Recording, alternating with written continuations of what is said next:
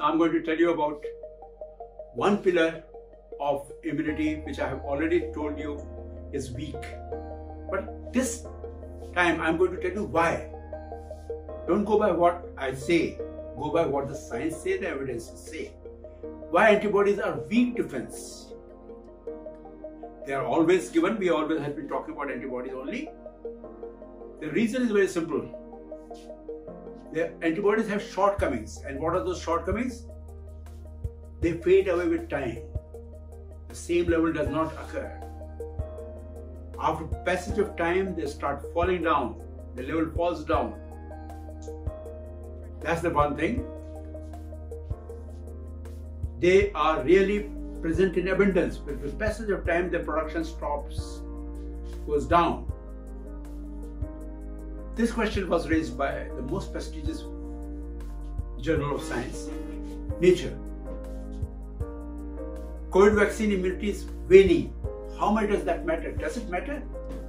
Well, it does matter. The study, a prospective study, prospective means continuously patients are given vaccine and they are followed up longitudinally, time after time, time after time, longitudinally. This prospective study published in Lancet Regional Health Europe. They gave Pfizer vaccine, that mRNA vaccine, which is very famous world all over. Maximum people have been vaccinated with this vaccine. So, what is the dynamics of antibody response after six months of the study? Do you know what they found? They found very interestingly.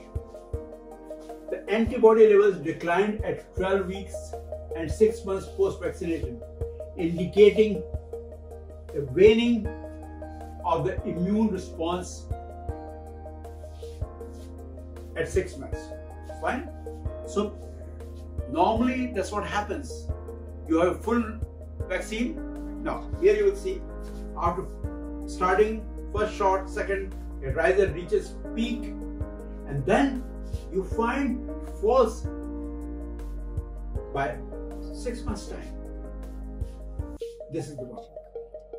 This is what is the normal antibody from a recovered person. It comes to that level.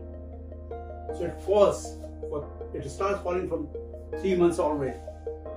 And this antibody fall is the cause for many of the breakthrough infections also. That's why they need a booster. Elderly people have been given a booster nowadays. So that they last from three months to six months time, as per this study. And what happens to T cells? CD4 T cells are produced a little bit, but CD8 are very less, least rather. Similar study was done by the New England Journal of Medicine, which showed that Moderna vaccine, vaccine that also has a falling antibodies after six months. So it is very clear that vaccines they produce antibodies as it is they are weak, as I told you, as I further confirm it, and their level also does not remain the same.